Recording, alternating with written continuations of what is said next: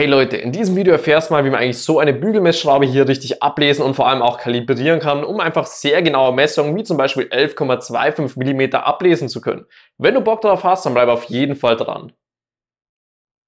Zuerst haben wir hier vorne mal unsere sogenannte Skalenhülse, welche durch diese Bezugslinie in einen oberen Bereich und hier unten in einen unteren Bereich unterteilt wird.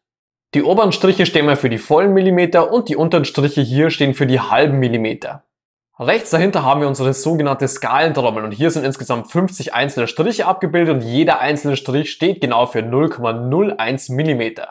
Wenn ich hier hinten an meiner Kupplung mal im Uhrzeigersinn drehe, dann wandert meine Kante hier vorne, welche ich auch zum Ablesen benötige, immer weiter Richtung 0. Das Ganze wird also kleiner und wenn ich sie gegen den Uhrzeigersinn drehe, dann wird es wieder größer.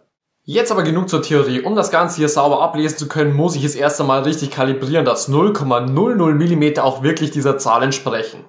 Zuerst mal müssen hier vorne meine Messflächen wirklich komplett sauber sein und dann gehe ich hier hinten wieder hin und drehe einmal so weit, bis es zum Klicken hier anfängt. Das bedeutet jetzt, dass die Radsche hier hinten durchdreht und die Messflächen mit ca. 5 bis 10 Newton zusammengepresst werden. Wenn das der Fall ist, dann kann ich hier noch meine Stellschraube einmal festdrehen, dass ich hier hinten auch nichts mehr bewegen kann. Wenn der Bezugstrich hier auf der linken Seite und der Strich von der Null hier rechts auf der Trommel genau auf derselben Höhe sind, dann ist alles super und wir müssen nichts nachkalibrieren.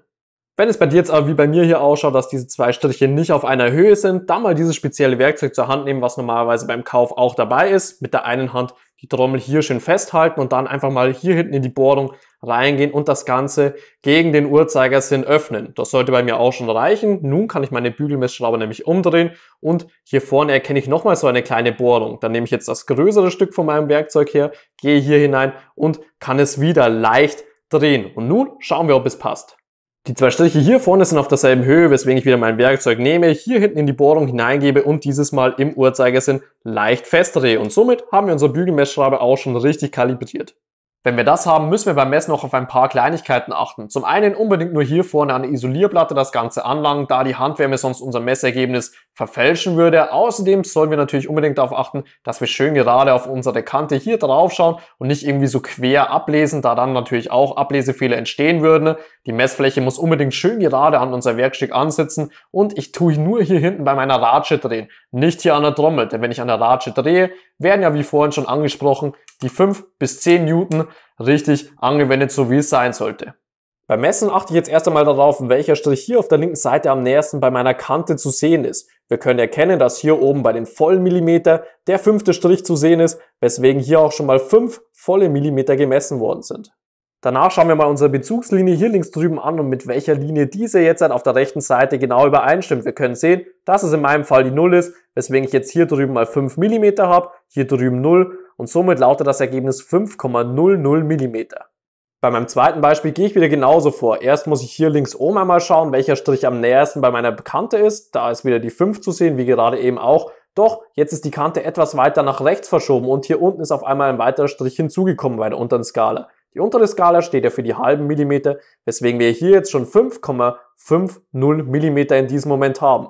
Und wenn wir einmal die Bezugslinie hier wieder anschauen, erkennen wir, dass diese wieder genau auf derselben Höhe von der 0 hier rechts ist, weswegen unser Ergebnis in diesem Fall auch 5,50 mm wäre.